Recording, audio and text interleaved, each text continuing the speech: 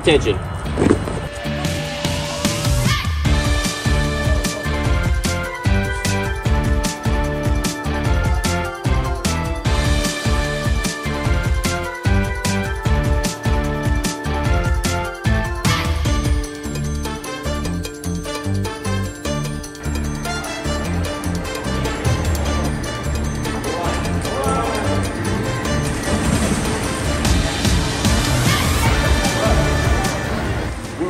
So it's a swim competency test, and it's a series of water. You have to like tread water.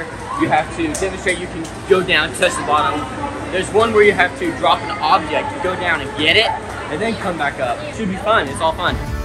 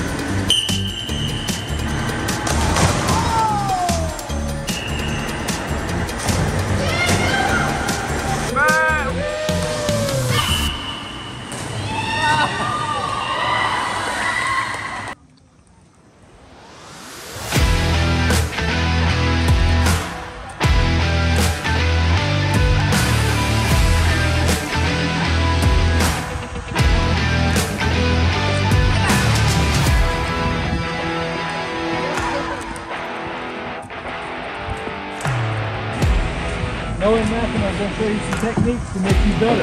When you're entering a canoe, you need to have three points of contact at all times. Okay? You got two hands, you got two feet. You're gonna be moving your feet and moving your hands at the same time. Okay? Air needs more fuel. So keep going. Keep going. there. Now get some sticks in there. What's the timing?